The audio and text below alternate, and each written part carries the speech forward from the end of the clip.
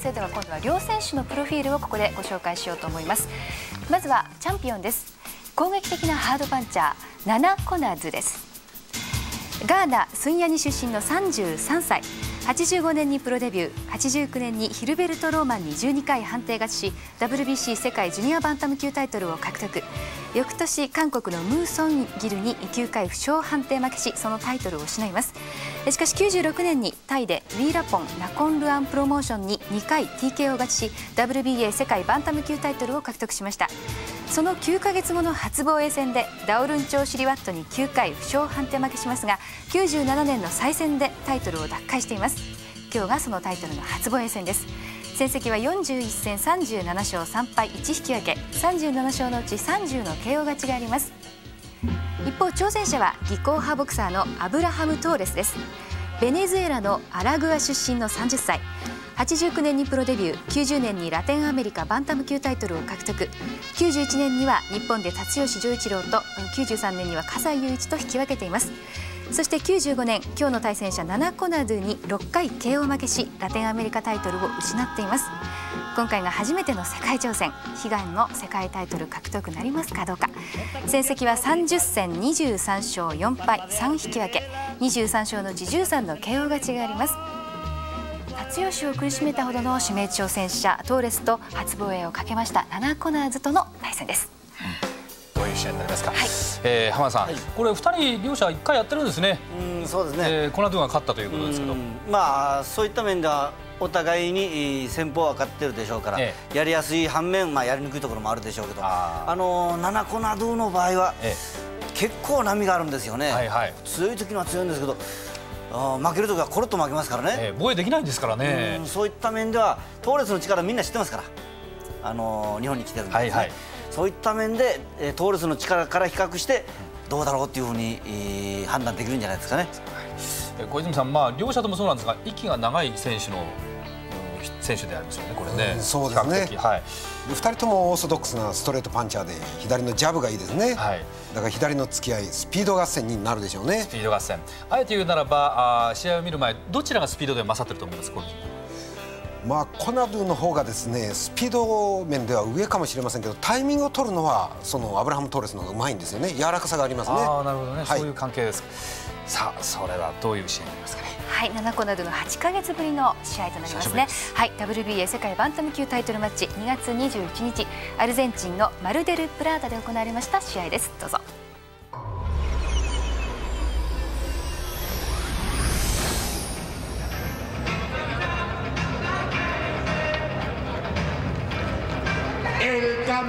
Del mundo, Nana Konadu. ガーナのチャンピオンですナナ・コナドゥ97年6月21日ダオルンから王座を奪還しました奪回しましたナナ・コナドゥ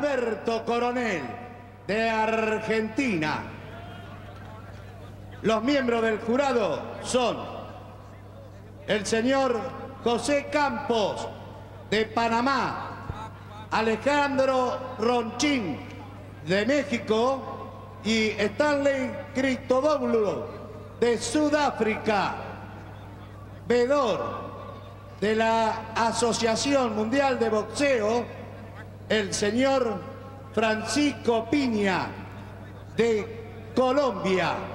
Son 12 rounds y está en juego el título mundial. WBA 世界バンタム級のタイトルマッチ。ナナコナドゥ対アブラハム・トーレス。この試合は指名試合であります。ご覧のようにナナコナドゥの戦績が今画面に表されていました。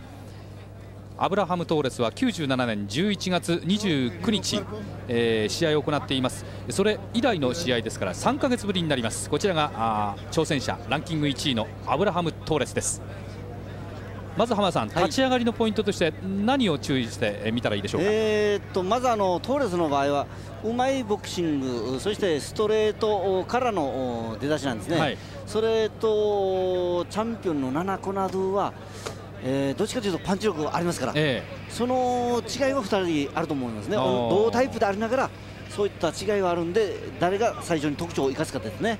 はい両者のウエイトは118と117あちょうど真ん中あたりの数字ですが、えコナドゥがあこのクラスのリミットいっぱいです。53.5キロです。一方少し1パウンドだけ軽く上がりました。トーレスは53キロです。場内、えー、コールは終わりました。まもなくあとは試合が始まるのを待つだけなんですが WBA 世界バンタム級のタイトルマッチ。さあ両者がリング中央で顔を合わせます。2階級制覇のナナコナドゥ。3度目の王座につきましたがまだ防衛はありません。これが3度目の王座の初防衛戦ということになります。一方トーレスはこれが初の世界挑戦になります。非常にこれ世界タイトルマッチなんですが浜さん、はい、何か異様なくらいシーンとした感じになってますね試合前、うんまああのー、両方ともアルゼンチンじゃないですよね、えー、そういった面でどっちを応援したらいいか というのもあるんじゃないですかね。さっきのアンダーカードの2試合でちょっとあれですかね小休止しちゃったんですかね。うんまあそれちょっと聞いてみないと分からないですけどね。中身で、ね、盛り上げてほしいですね。さあ視線をじっと挑戦者に据えています。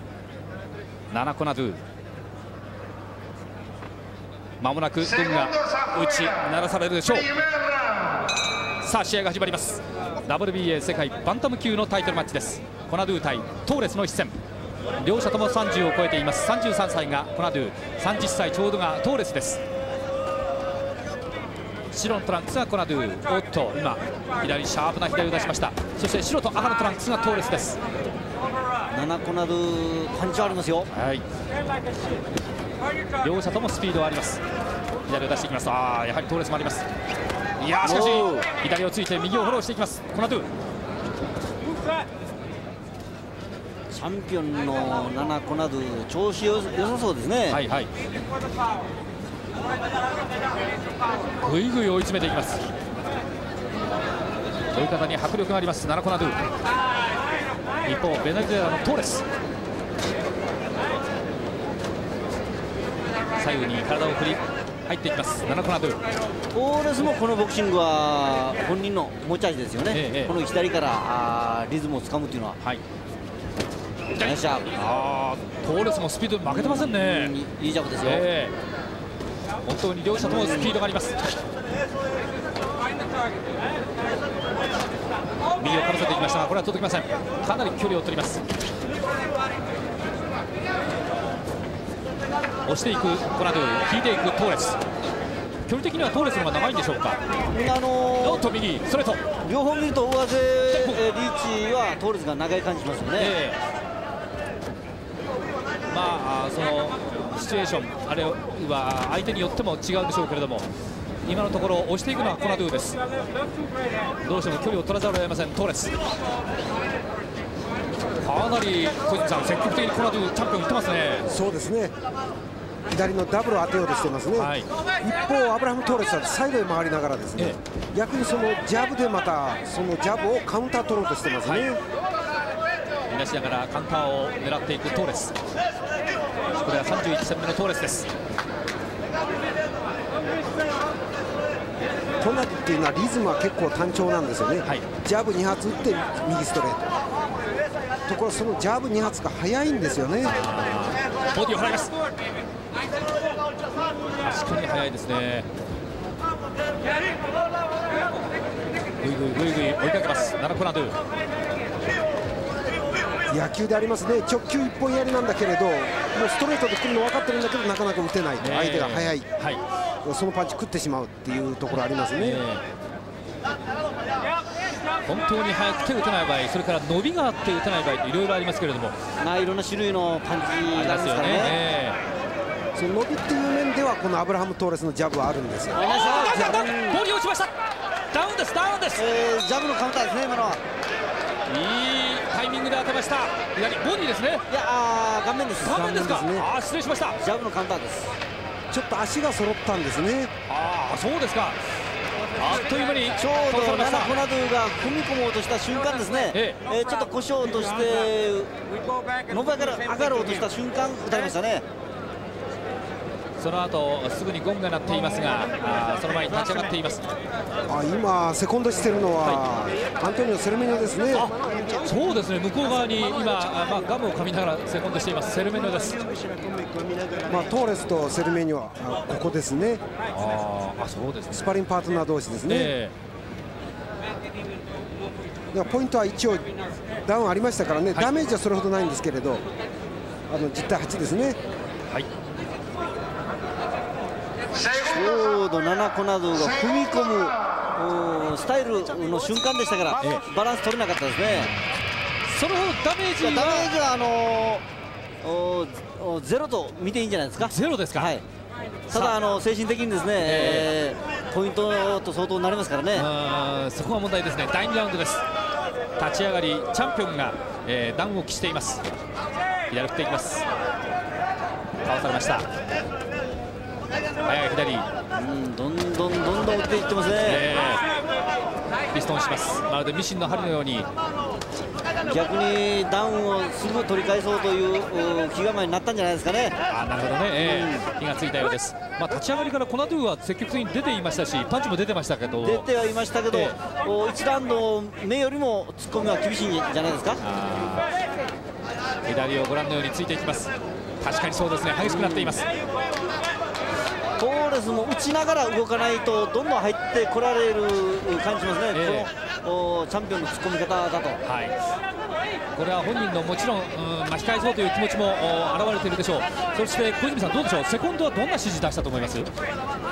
まあ、コナデの方はですね、えー、このペースでですね、はい、左でどんどん相手崩してそれで右ストレート打っていけと、えー、こういう指示ですね、えー、アブラム・トーレスはこれサイドへ回って、はい、あのジャブを食うなということでしょうね、えー、自分の距離を保てと。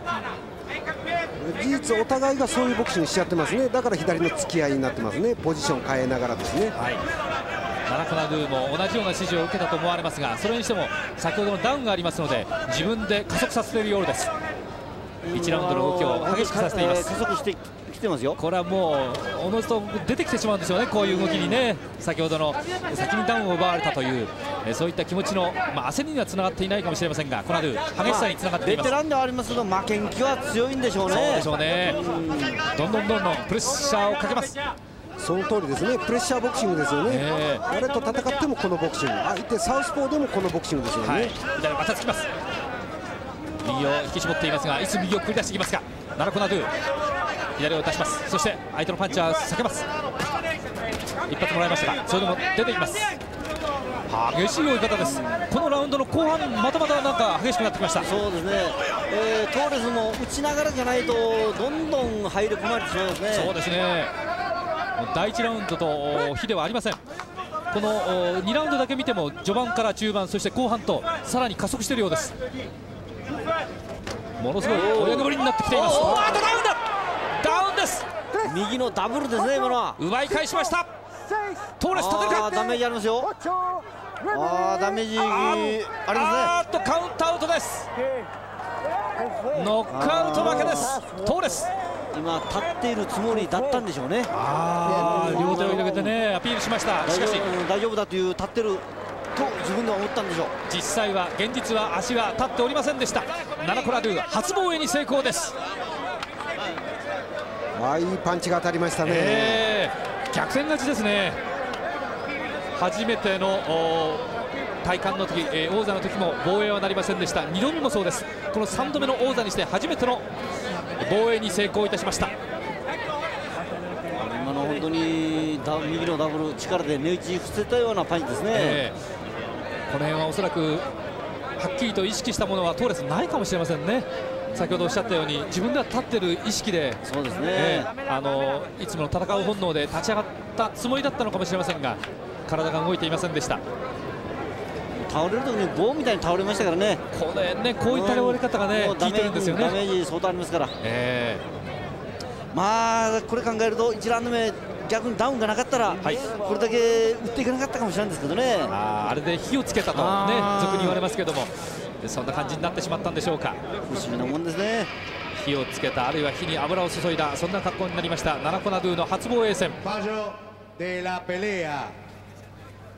Ganador por knockout ガナドールっていうのは勝者ですねポルノッカとバイナックアウトですね el título del mundo. El hombre de Ghana Nana Canadú a continuación ナナ・コナドゥが勝者のコールを受けています。まあ、現地の発音ではナナコナドゥフと言ったかどうかちょっと分かりませんでしたけども、えー、ガーナのナナコナドゥ初防衛に成功しましたいや浜田さんしかしこれ今リプレイが出ていますけども爪はすごかったですね。突進そしてパンチ力は増したような感じしますね、えー、まあ小泉さんこれが本来のねコナドゥの強さでもありますけれどもね。そうですね、まあこれ前負けたのはですね3敗だけですね。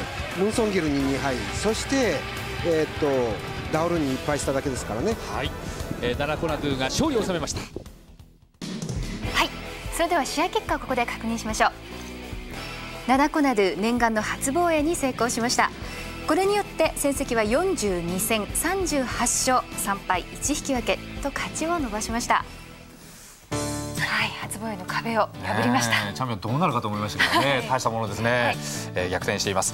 さあそれではですね、えー、まず浜さん、はい、えー、印象から簡単に伺ってまいりたいと思います、えーと、トーレスも調子良かったんですけどね、はいえー、いい時のナナコダヌナナコナドゥに当たってしまったと。あ、うん、運が悪かったということでしょうね。ですね、えー、小泉さんどういう印象でしょう？今の打ち下ろすパンチなんですね、はい、あの人間の首っていうのは頭とこういうふうにつながってるわけですね、えーで急激に一種の脳震盪を起こすために打ち下ろすか打ち上げるかなんですよね、はい、だから顎上げてるとパンチが立ってガーンと上がるかですね、ええ、逆に今みたいに打ち下ろしのパンチでグンと下げられると脳震盪を起こすんですね。だから今のはグンって言って下を落としたパンチですから、え、あれああいう効き方したんですね。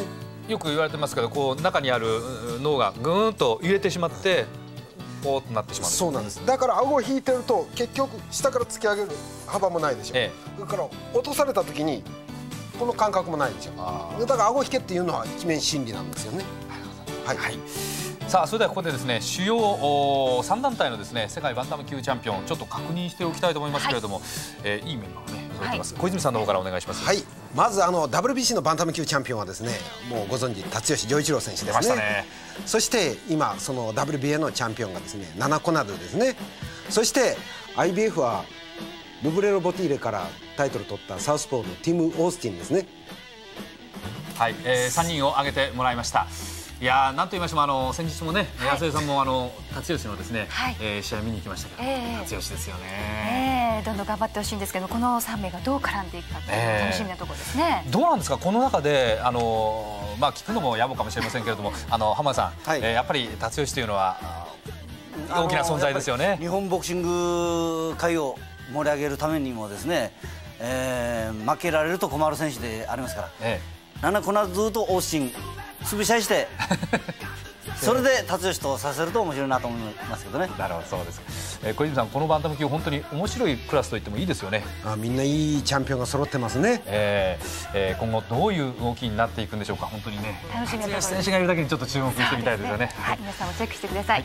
以上 WBA 世界バンタム級タイトルマッチをご覧いただきました